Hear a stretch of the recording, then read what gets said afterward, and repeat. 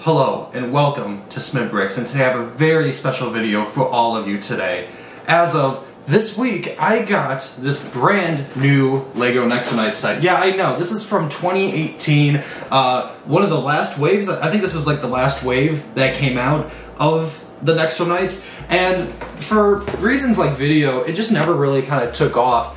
After, you know, a couple years, you know, they had, uh, they had a pretty decent run, uh, they probably, they couldn't reach the audience like LEGO Ninjago could have done.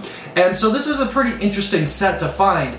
Um, so I basically went to this like, you know, Goodwill kind of store and they just had this set very, very cheap. And I was like, wait, this set, this set seems like it's like at least around like 50 $60. Um, then checking Bricklink, it was only like $47 the last like couple months that people have been spending on this. No one's been seeking after these sets. And I didn't even know these ones actually existed either. Uh, but to get this in a fully unboxed set is insane. Um, now, looking into this, this set, this specific set right here is really nothing quite special, but it is a cool little case study to look at Nexo Knights.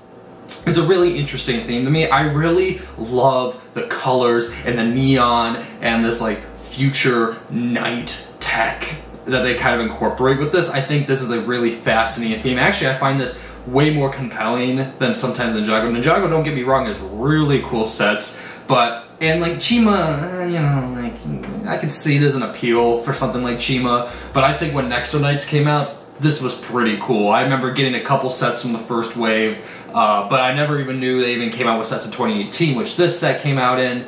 Um, I can kind of respect that. So let's get into this review and unbox this set. You, you wanted me to unbox that? No. Set's like six years old. I can wait a couple more years to open this set. Um, but I did open it, and I did get one, uh, one satisfaction out of it. Welcome back to Stud Review. This stud is very green, like grass. Except not grass, because grass doesn't glow. Maybe some does, I don't know. Pandora, maybe? You know, from the Avatar movies? That's what it reminds me of, you know? Great movies. I don't even like green. Green sucks. Sucks.